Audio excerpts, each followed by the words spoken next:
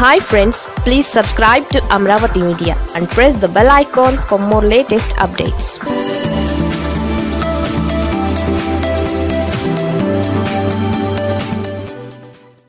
Chandrababu చెబితే మేం వినాలా? తమ్ముళ్ళలో కొత్త చర్చ. సరే మీరు చెప్పినట్లే అనుకుందాం కష్టపడతాం. ఈ రెండున్నరేళ్ళు పార్టీ జెండాను మోస్తాం. అప్పులు చేసి మరీ పార్టీని నిలబెడతాం. మరి మాకు టికెట్ గ్యారంటీ ఇస్తారా? ఇది తెలుగుదేశం పార్టీలో జరుగుతున్న చర్చ. చంద్రబాబు గత కొద్ది రోజులుగా ఒకే మాట అంటున్నారు. చంద్రబాబు ఎప్పుడు ప్రతిపక్షంలో ఉన్నా ఇదే రకంగా వ్యవహరిస్తారు. అది వేరే సంగతి. పార్టీ కోసం కష్టపడని వారికి టికెట్ ఇవ్వం. ఈసారి సాంప్రదాయ పద్ధతులకు భిన్నంగా టికెట్ల కేటాయింపు ఉంటుందని చంద్రబాబు పదే పదే చెబుతున్నారు. రెండు రోజుల నుంచి పార్టీ నేతల సమావేశంలో చంద్రబాబు ఈ రకమైన వ్యాఖ్యలు చేస్తున్నారు. అయితే చంద్రబాబు మాటలకు నేతలు భయపడిపోయారనుకుంటున్నారా? అయితే మీరు పొరపడినట్లే. అందరూ లైట్గానే తీసుకున్నారు.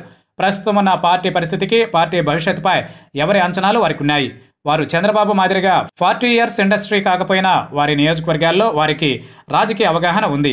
తమకు కాకుండా వేరే వారికి టికెట్లు ఇస్తే చంద్రబాబు తన గొయ్యిని తాను తవ్వుకున్నట్లే అని బహిరంగంగా కాకపోయినా అంతర్గత సంభాషణల్లో వ్యాఖ్యానిస్తున్నారు. అన్నదే ఎవరూ అంచనా వేయలేకపోతున్నారు.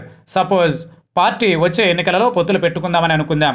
ఇప్పుడున్న గెస్సింగ్ ప్రకారం జనసేన కమ్యూనిస్ట్ పార్టీలతో కలిసి బరిలోకి చంద్రబాబు దిగాల్సి ఉంటుంది ఆ పార్టీలకు కనీసం యాభై స్థానాలను కేటాయించాల్సి ఉంటుంది ఇక బీజేపీ కూడా కలిస్తే మరో పది బొక్క.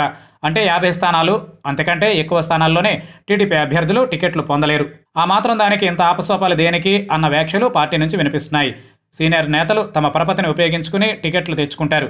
ఎటొచ్చి నష్టపోయేది పైరవీలు చొచ్చుకుని పోయే మనస్తత్వం లేని వాళ్ళే ఇప్పటికే జనసేనతో పొత్తు ఉంటుందని టీడీపీ నేతలు మెంటల్గా ఫిక్స్ అయ్యారు. జనసేన బలంగా ఉన్న చోట పార్టీ కార్యక్రమాలను పెద్దగా చేపట్టడం లేదు. ప్రధానంగా తూర్పు పశ్చిమ గోదావరి గుంటూరు ప్రకాశం జిల్లాల్లో ఈ పరిస్థితి ఉంది. చంద్రబాబు తమకు టికెట్ గ్యారంటీ ఇస్తే అప్పో సొప్పో చేసి పార్టీ కోసం ఖర్చు చేస్తామంటున్నారు. మరి దీనికి చంద్రబాబు వద్ద సమాధానం ఉందా?